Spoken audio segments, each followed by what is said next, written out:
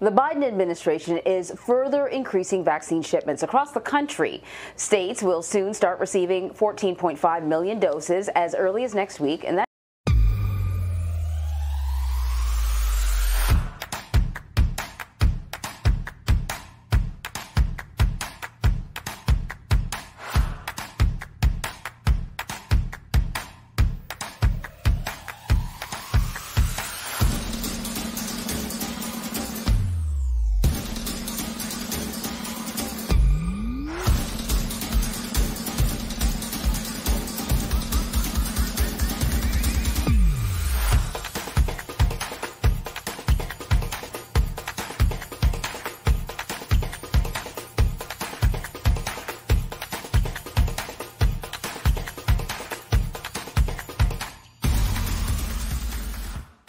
is up from 13.5 million. The White House, the White House rather, announced just last week.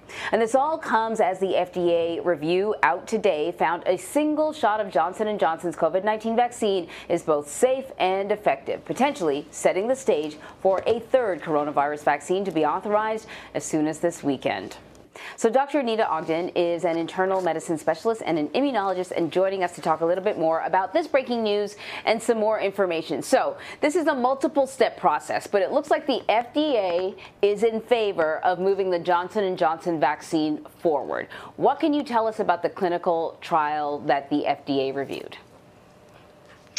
Good morning. So I think it's a really exciting day. Um, the advisory committee on vaccines to the FDA will convene um, shortly this week, and then it's very likely that this Johnson Johnson vaccine will get approved for emergency use authorization. So what do we know about this study? It was approximately 44,000 people, um, and they conducted the study with two months of safety data, which is required by the FDA. And what they found was that overall in the United States, it was 76% effective uh, in preventing moderate disease. Uh, overall, globally, it was around 66%. So now we're seeing numbers well above uh, what's required by the FDA of that 50% efficacy. Um, and the, the best thing is that we saw that it was 85% effective in preventing severe disease and hospitalizations, which is what we obviously really, really care about here. Uh, so the other things that are wonderful about the Johnson & Johnson vaccine is that it requires easy storage. It can just be kept in a fridge for months. Um, it's just one shot. So this is really going to change the sort of vaccine landscape globally. These types of vaccines that are uh, more easily stored, uh, just more accessible in general. And um, the other thing that we really want to think about is how it's going to be now distributed. We keep hearing about vaccine delays, and unfortunately, that exists with this vaccine as well. So immediately they say roughly two to four million doses will be available by March. We're looking at 20 million doses, and by June they're promising 100 million doses. We're really hoping that that does come to fruition. So, Dr. Ogden, understanding that you are a doctor and not somebody who uh, is responsible for logistics, um, but I, I, do have a question that um, has been sort of on my mind, which is when we when we talk about the bottlenecks with regards to distribution, is it because the pharmaceutical companies have not yet produced enough of those vaccines, um, or is there a bottleneck somewhere else with delivery, with shipping?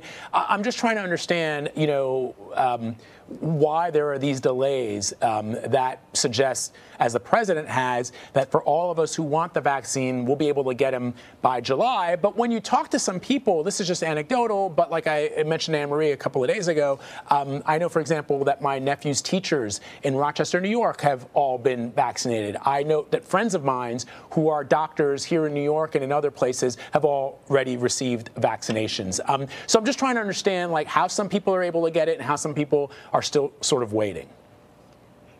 Yeah, you know, I think this is a multifactorial thing, and a lot of people are scratching their heads about why there's this wait. There's so much demand. It's obviously outpacing supplies. So, a few things. Number one, Operation Warp Speed did a pretty good job in getting a vaccine here, but then they basically left the allocation to local governments and states that were frankly overwhelmed by these surges that we saw around December and January. Um, there was also a lack of communication. There were far too many doses allocated to nursing homes um, than were needed, and they were sort of sitting around without, uh, you know, sort of thought put to giving them, moving on to the next group of people who would need them.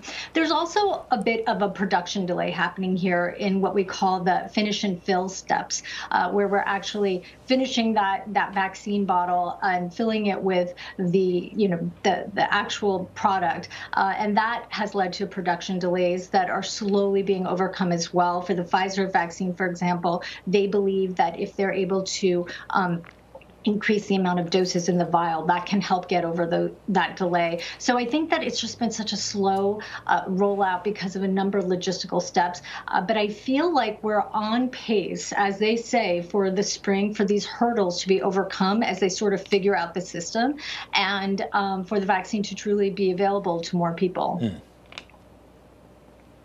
So there are two studies suggesting that a new COVID-19 variant that was discovered in California is even more contagious than the earlier forms of the virus. And you know, this comes as the rare, as we've seen sort of the highly uh, contagious strain that emerged in Brazil now pop up in Alaska. I know we kind of, I feel like we keep asking this question over and over again, but I think every time someone hears about another variant, they sort of freak out a little. So, you know, what threat do these new variants pose?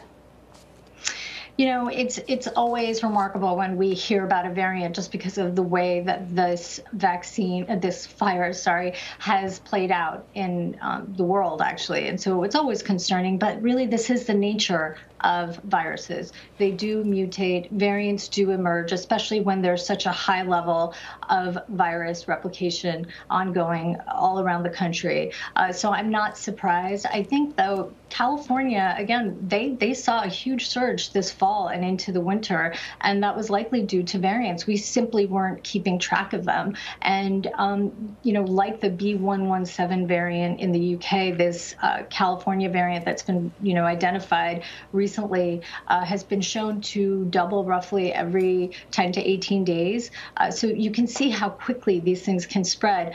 Of course, all of the variants are now showing, you know, at, at, least the California and the B117 variant are showing that they're likely more contagious. It's the P1 variant um, and the B135 variant that we are talking about Brazil and South Africa that we are a little bit more concerned about immune escape. Uh, will they still, uh, you know, w- you know, will they wreak havoc for people in terms of reinfection or if people have been vaccinated? I mean, these are just answers we don't have, and frankly, we probably won't know until the country gets vaccinated and we see if people start getting sick.